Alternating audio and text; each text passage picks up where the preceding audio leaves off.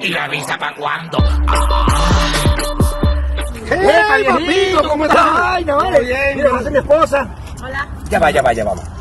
Yo te conozco a ti. Claro, yo soy la prepago que te robó el reloj la otra noche que te quedaste dormido en el hotel. Ay, con razón. No me atendías. Te llamé muchas veces para que Ay, pero yo pendeja para atenderte. en serio. Mira, y todavía está trabajando en lo mismo porque como veo que se casaron. Claro, yo sigo activa, pero solamente de día, porque si no en la noche, los vecinos lo joden al cabrón este.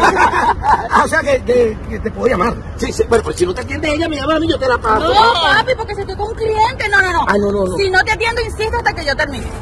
Pero todavía estás cobrando los mismos mil, mil dolitas como me cobraste. Claro, lo mismo. Mami, mil dólares, pero tú a mí me cobrabas mil quinientos. Papi, pero que tú no te afeitas y lo tienes muy chiquito.